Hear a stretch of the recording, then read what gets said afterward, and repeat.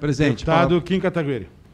Concordo plenamente com o requerimento do deputado Elias Vaz.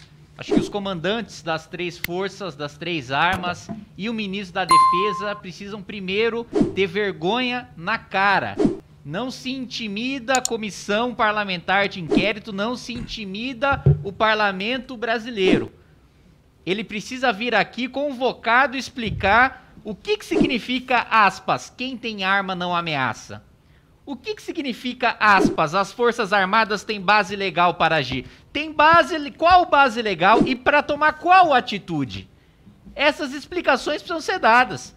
A gente não pode aceitar o parlamento brasileiro que meia dúzia de milico tome como refém uma comissão parlamentar de inquérito porque tem militar envolvido. Tem militar corrupto, sim. E militar corrupto precisa ir pra cadeia.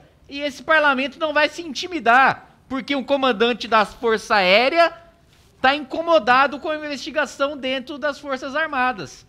Tem corrupção em todas as instituições, públicas e privadas. Não tem ninguém que esteja acima da lei, não tem ninguém que esteja imune a investigações e ficar ameaçando com afirmação golpista. Quando tem uma investigação que se aproxima das Forças Armadas, isso é crime. Isso é crime previsto na Lei de Segurança Nacional. É cadeia regime fechado. Então o ministro precisa vir aqui esclarecer, primeiro, o que, que significa quem tem arma não ameaça? Por que quem tem arma não ameaça?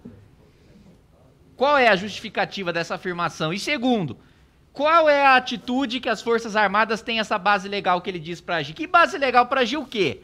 Forças Armadas têm o dever de proteger o Estado enquanto instituição. Militar quer fazer política, larga a farda, vem disputar a eleição, como tô cada um de nós aqui. Quer dar opinião sobre mérito de matéria, quer criticar CPI, quer bater em governo, quer defender governo, disputa a eleição, larga a farda. Militar não pode fazer política, não pode dar discurso político, não pode se posicionar politicamente. É o que a lei determina, é o que ocorre em todo o Estado democrático de direito.